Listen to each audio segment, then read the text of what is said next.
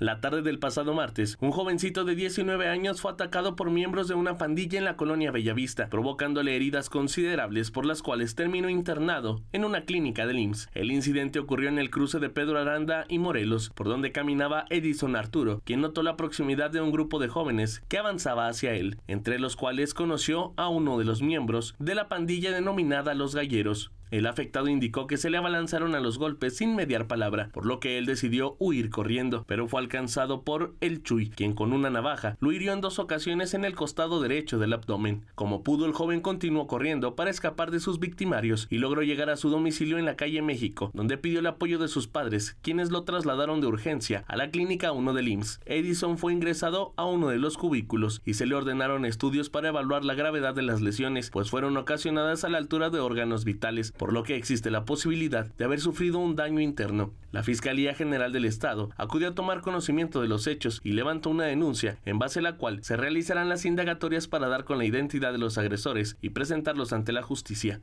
Para Telezócalo, Daniel Revilla.